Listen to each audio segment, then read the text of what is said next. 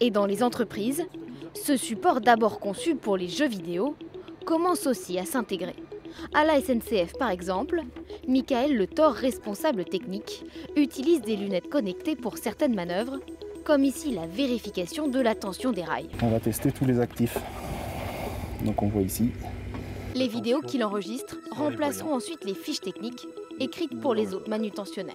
Ça évite de faire des erreurs, c'est sûr. Parce qu'une fiche ne nous dit pas forcément comment manipuler. Quoi.